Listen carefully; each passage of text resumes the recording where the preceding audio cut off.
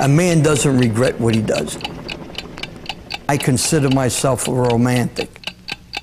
When I met Ernie for the first time, it was love at first sight.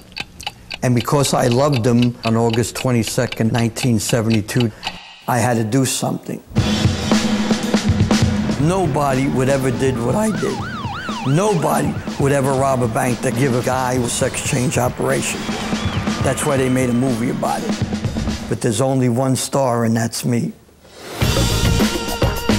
We parked the car.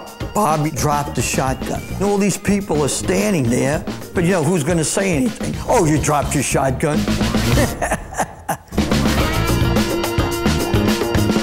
When he was a kid, he was good.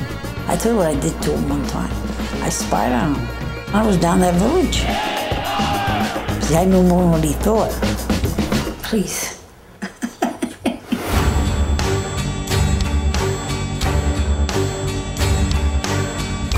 I went to Chase Manhattan when I first was out, and I wanted to be a security guard. I said, I'm the guy from Dog Day Afternoon. Nobody's gonna rob the dog's bank.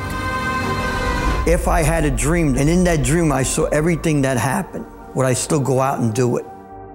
You're damn right I would still go out and do it.